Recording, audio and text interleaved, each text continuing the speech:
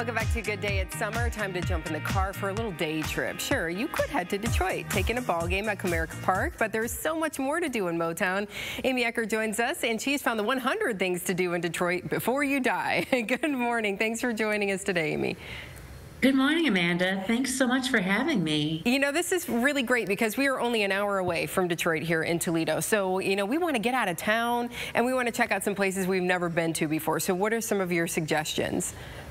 Well, you know, there's been a lot of emphasis in Detroit lately on the remaking of old buildings, the the re- revitalization of Michigan Central Station and some of these great old Art Deco buildings. And I love to point people to some of the boutique hotels that are really taking advantage of that trend. If you're driving up to Detroit, you really owe it to yourself to stay in one of these century old architectural treasures like the Shinola Hotel or the Cambria Hotel, which is located in an old uh, radio station. It's just the coolest place with these vintage radios and uh, on display. And um, I, I, think that's, or the Detroit uh, Foundation Hotel, which is in an old firehouse.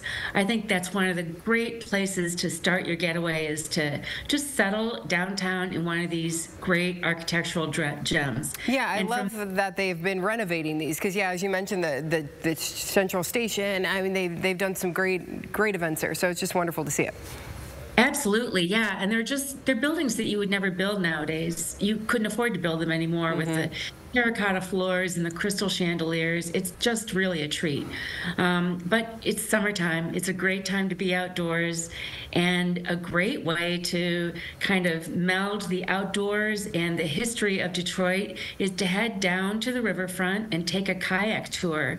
It's the most interesting, just most unusual way to get a sense of Detroit's history indigenous beginnings to its prohibition era rum runner history the seat of a kayak with a guide that helps you understand what you're seeing and um, paddling along the Detroit River, past Belle Isle. It's a great way to kind of meld the beauty of the outdoors in this season with a history lesson. Very good. So yeah, get out there, enjoy the outdoors. I saw we had a picture of some food too, and my brain is always um, centered oh. around food. So I know uh, Detroit style pizza is my favorite. I love Detroit style pizza. So there's yeah. there's definitely some things that people can nibble on while they're up in Detroit too.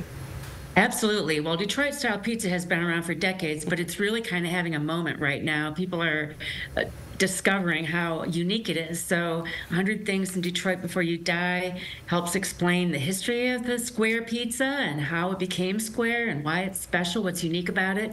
And then I suggest several places where you can get the best pie from Buddy's to Louie's to Cloverleaf, um, all these places that have fantastic Detroit style pizza. Um, mm. Middle Eastern food is mm. hot, um, and I help people find the best Middle Eastern food in the city as well. So, so you got to get this book. How can people get it? Well, it's available at brick and mortar stores all across Toledo. And um, if you prefer to shop online, Amazon, Barnes & Noble, they both carry my books, or you can visit my website, amyeckert.com. Wonderful. I'm glad that you've done all this scouting for us so that we could just pick up the book and then hit the road and visit Detroit. Amy, thank you so much for joining us today. Thanks for having me, Amanda. Have a great holiday week. Same to you. And thank you for joining us here on Good Day. We'll be back with some more news right after this. Stay with us.